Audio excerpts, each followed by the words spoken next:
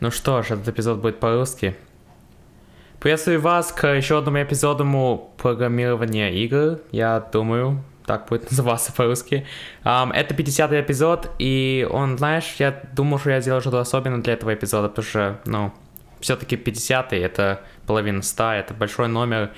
И так что я, я подумал, что я как бы первый, первую минуту этого эпизода будет по-русски, просто так, потому что много из вас там эм, переживали, что я, я русский, почему я по-русски не говорю, все такое. Так что эм, я подумал, что, ну, знаешь, просто так, просто для, для удовольствия сделаю первый, первую минуту этого эпизода по-русски. Так что наслаждайтесь, если, вы, если вам нравится этот эпизод, нажмите лайк и... Эм, ну, что там еще я могу сказать? Все. так что да, я надеюсь, что вам понравится этот эпизод и что я, я просто так думаю сейчас, что никто другой не сможет понимать, по что я говорю, потому что ты же не можешь как бы написать там на интернете, на, на, на интернете, на интернет и перевести um, это на русский, потому что это же не, не слова, как бы, а звук. Так что никто, никто не сможет узнать, что я говорю тут. А кроме того, если один из вас русских переведет ему. Но ну, anyway, окей. Okay. Я сказал английское слово, я не имел... Я, я, я вообще-то, когда, когда um, говорю по-русски с родителями, потому что я так говорю по-русски с родителями, обычно они знают английский, но все равно мы как бы, мы как бы на, на обоих говорим, um, понимаете, как бы получается, что и по-русски, и по-английски, поэтому um, я иногда говорю английские слова, пока я говорю по-русски, но в общем, да, это будет конец этого этого русского части, потому что никто не понимает, что я говорю сейчас, кроме, кроме вас. Так что да, надеюсь, что вам понравилось, и давай продолжим с эпизодом. Hey, what's up, guys? My name is the Cherno, and that was, yeah, that was totally in Russian, that first, like, minute or so of this episode. This is episode 50, so I thought I'd do something special. But yeah, um, hope you enjoyed that little, uh, that little Russian, uh, at the beginning of that episode, of this episode. Um, so yeah, today we're gonna take a look at animating our player. So what we've got right now is, if we take a look, we've got this static sort of animation. It doesn't really, doesn't really cycle through the different frames. And if we actually look at our our image of King Cherno, provided by uh, Andy Wall, Andy Wall, of course. Um, you can see that we've got sort of like three phases of animation here. And basically today what we're going to do is we're going to take a look at uh, cycling through them. So the first thing we need to do, if we come into our sprite class over here, of course there are several ways of doing this. I'm not going to, I'm just going to cut to the chase, to cut to the chase, not do any like really like experiments or anything not going to experiment with different uh, different ways of doing this. I'm just going to get straight to the point, show you guys the easiest way of doing it, and then maybe in the future I might mix it up if you guys want me to in like a, an advanced section, I guess, of the series, something, something like that. But um, yeah, so first thing we need to do is actually, I guess, import um, our players. So let's just make a new uh, sprite. So I'm in the sprite class here. So public static sprite, and we'll call it player.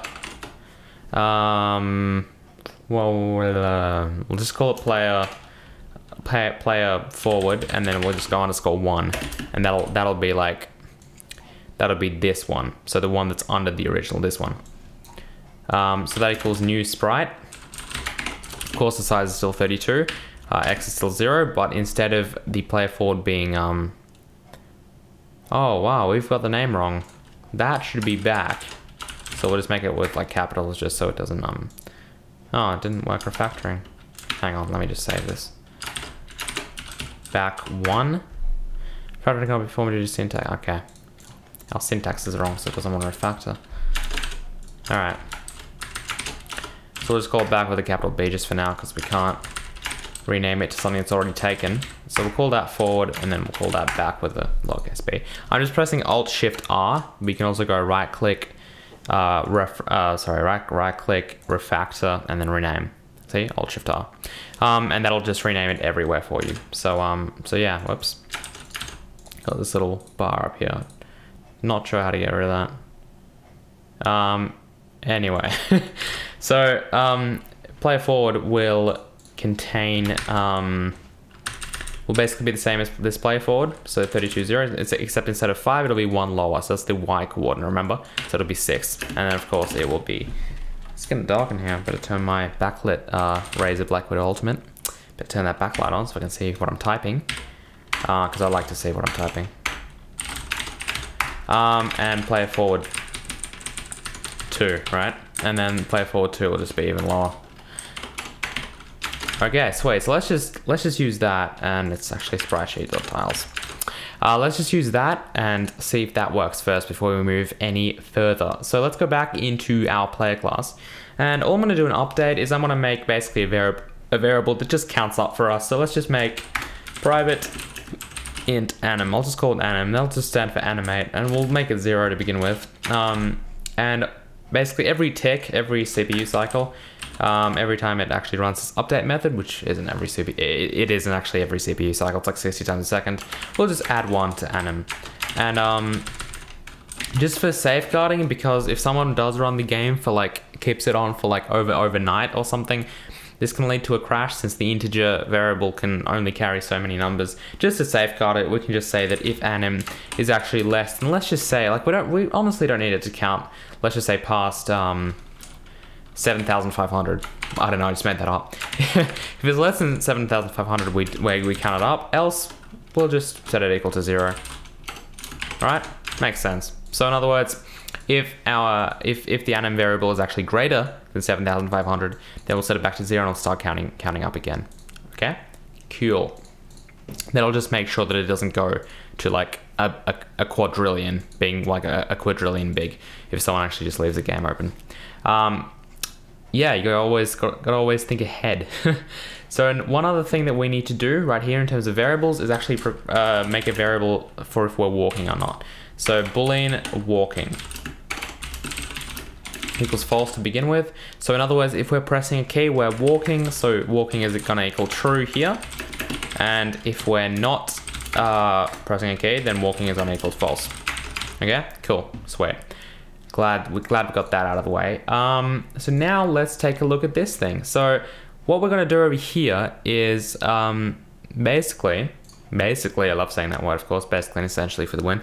Um, basically, there it is again. Um, if if if anim is equal to a particular like factor, so in other words, if anim is like, I don't know, every odd number that anim is equal to, half the time, for example, then let's let's use one of the animations.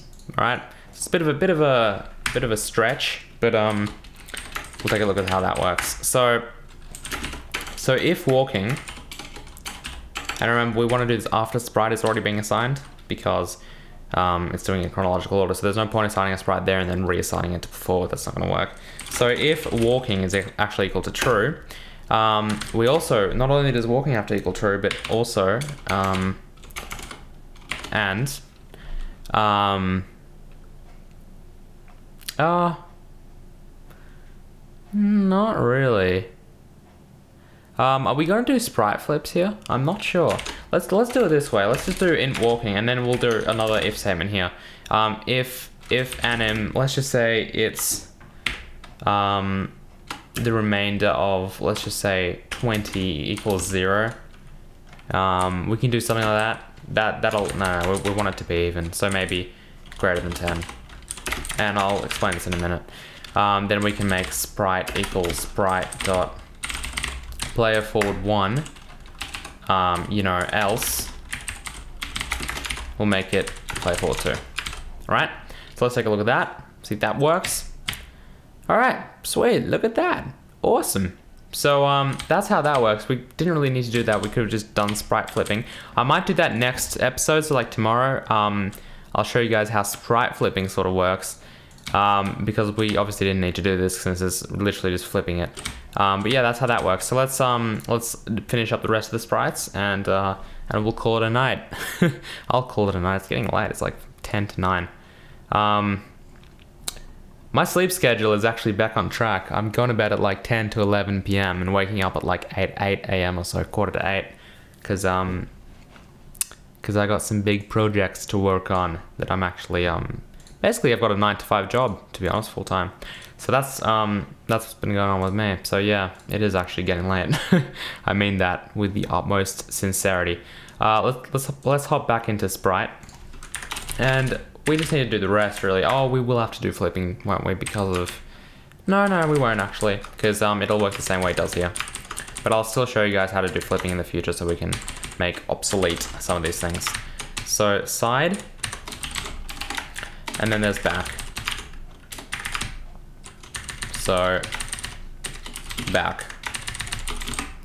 So of course, if we uh, open our sprite sheet back up, we can see the side is just below the side, I guess, and then the back, uh, sorry, the back, no, that's, that's the back. The back is just below the, um, the original back sprite. So if we look at the original back sprite, we can see that that's at 2 comma 5. So which means that these will be at 2 comma 6 and 2 comma 7.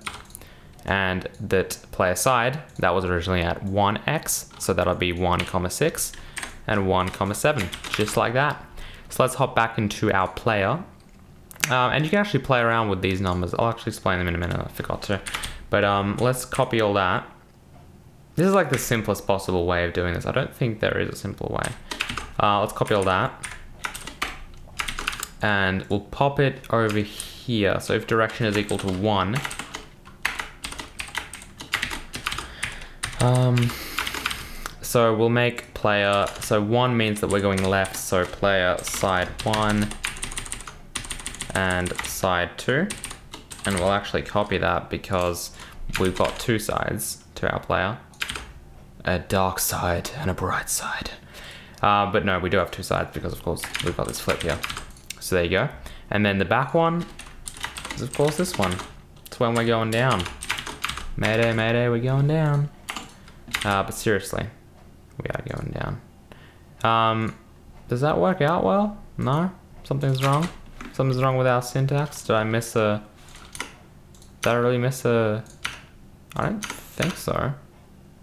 No, that looks pretty legit. Huh. Looks like we are missing, um... Maybe we got... No, no, we have to be... Wow, we're definitely missing something. What are we missing? Oh, we're missing a circular bracket. I don't know. I don't know what you call them, but it seems like we are missing a circular bracket. Oh well, let's just sort out the syntax.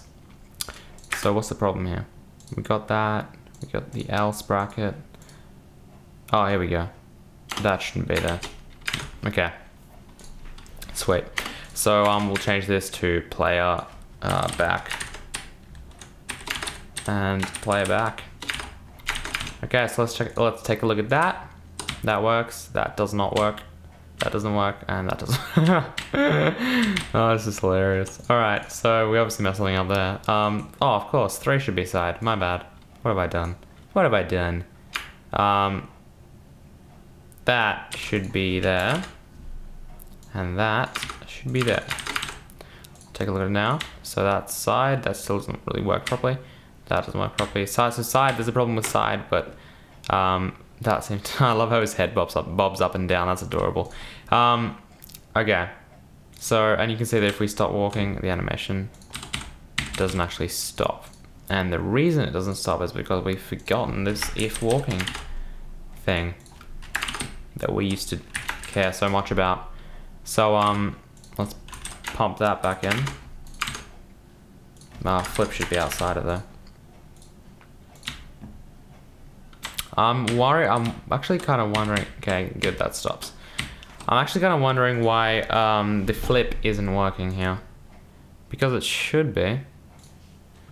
Um, the sprite should just get flipped. Maybe something's wrong with play. No, no, because there's obviously a problem because it's not working here either. It looks like. Oh no, that's just the animation. That's actually what the animation looks like. Doesn't look too good. Alright, Andy Wall, get on it, fix my damn animation, bro. That looks very broken. but yeah, um, other than that, guys, that is episode 50 of Game Programming. Hope you enjoyed it. That is how you animate your uh, thing. I almost forgot to explain this part, actually. So this is the way that this works. Animation, right, it's a number, and it's growing in size all the time. Daily. Not daily. Every, um, 60 times a second it's increasing, right? So it's going up by 60 every second.